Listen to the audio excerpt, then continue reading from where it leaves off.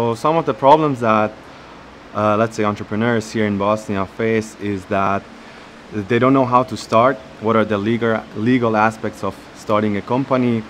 Uh, what are the phases of starting a company? How to do a market research? How to to see whether a product is fit for a market?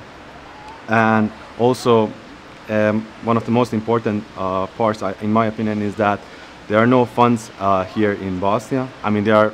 they are, but uh, it's really hard to access those funds. So and basically, you, uh, usually startups here face uh, uh, face the problem of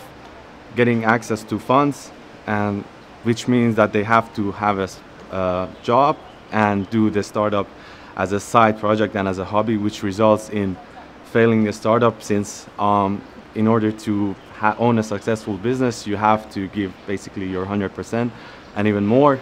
And in this case, if you have a job, you can't focus and it usually takes a lot of time to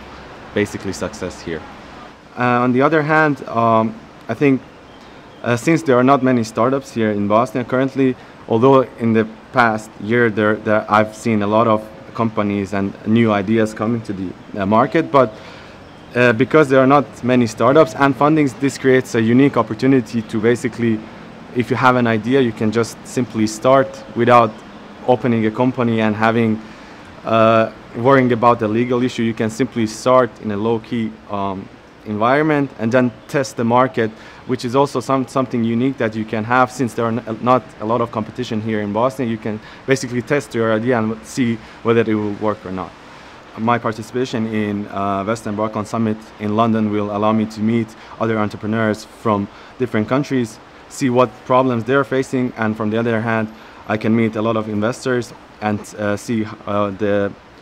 market in UK and what are the steps in opening uh, a startup and starting a startup in, in London or in the UK in general. Um,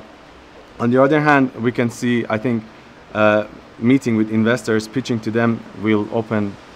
uh, can open potential opportunities for startups in Bosnia and maybe attract investors to Bosnia if they see what we are doing and the potential of the market, which is currently, I think, really good.